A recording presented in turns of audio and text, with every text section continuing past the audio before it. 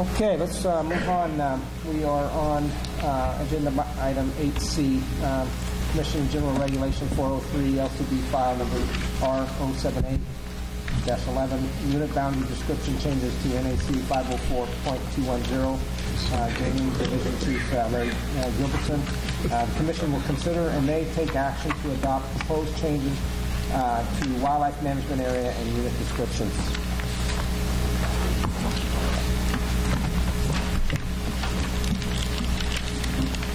Mr. Chairman, for the record, Larry Gilbertson, Department of Wildlife.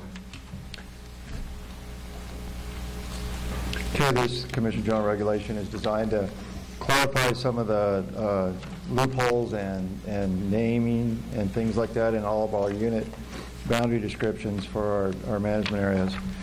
Uh, the first change is that we're uh, changing these management area unit descriptions used to be described as big game and we're changing that to wildlife so that we have the flexibility to identify areas to manage any and all wildlife.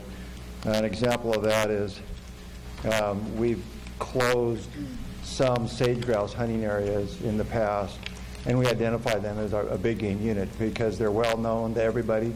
We've got maps of them, and, and so uh, it just makes sense to include all wildlife.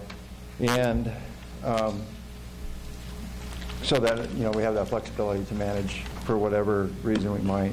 So that's why the word wildlife is added in there and big game animals are taken away. Other than that, there's a lot of uh, manipulating going on in various units a little bit. Uh, mostly it's clarification of roads. Uh, there's in areas 6 and 14, uh, there was uh, some roads out there that people uh, didn't know exactly where they were, and so they've better defined them by adding in some of the terminology like Garcia Flat Road and Huntington Valley Road and that kind of thing. Um, that's between 065 and 14. In between area 10 and 14, uh, we added um, the Bell Spring Road and the Beck Station area uh, to area 14. And what that did is it moved the boundary out there into the valley so that it included all of the ranches along the diamonds that have alfalfa fields. Because in the past, we've been giving out tags for compensation tags in some of those alfalfa fields.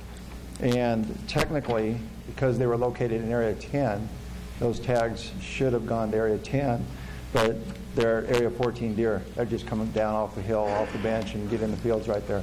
So we moved that boundary out, so those fields are actually in the, the mountain range unit they're supposed to be in. Uh, that was really the only reason for that one. Uh, area 10, we've added a new unit. It's 109. It, affects 104 a little bit. And we added unit 109, and that is a little piece of country, no man's land, kind of, between 101 and Spruce Mountain. And it's a kind of a migration trail for deer.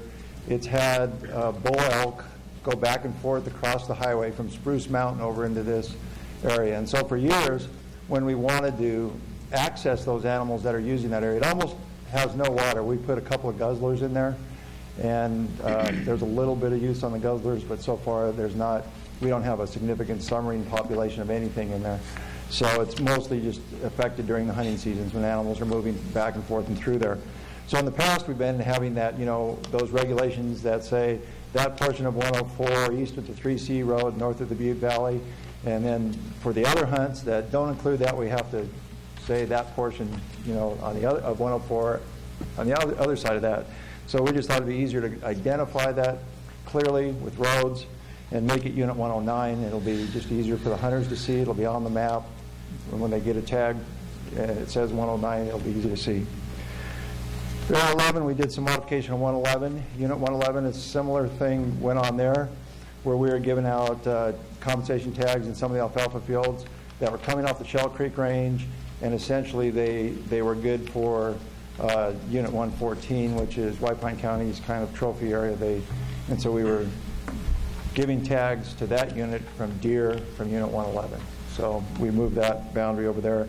We actually moved it over there a couple of years ago, but then there was uh, some, it needed some clarification to make sure that all the roads connect the East Spring Valley Road and the North Spring Valley Road and on out to the highway. So we've cleared that up.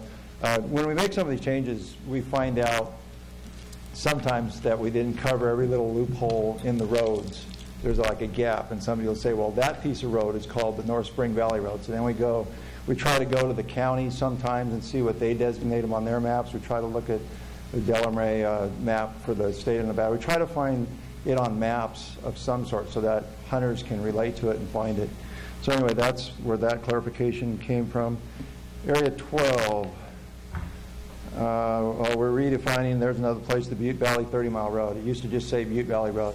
Well, when you get down near Highway 50, there's a little stretch that's called the 30 Mile Road for a little ways over the hill, and then you hit the Butte Valley Road. So we, we fixed that wording.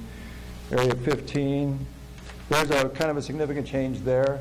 We split old Unit 151 into three. We split it between the Battle Mountains in the north, Fish Creek in the middle, and the South Shoshone Range in the bottom end. And we're actually going to use that already this year to uh, open up a bighorn sheep season, and then we're going to make a recommendation for a bighorn sheep season on Mount Moses, the Fish Creeks. You know, it'll be Unit 153. I'm thinking historically there was probably some other units in that area because right now it had uh, 151, 152, 155, and 56. So I was missing some units anyway. So anyway, we're filling them back in. So it'll now have units 151 through 156. Area 16 was just, uh, again, some road definition work there. Um, Area 17, we did a little bit of, of word change on, on, again, on some roads to make them more obvious, and we also moved the boundaries a little bit in some places to roads rather than county lines.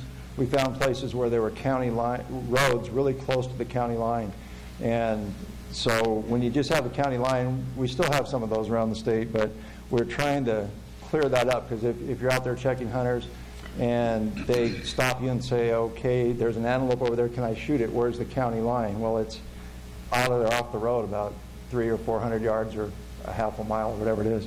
So we, you're just moving that to some roads where, where that's close. 245, we made change of one word. We added the word and somewhere.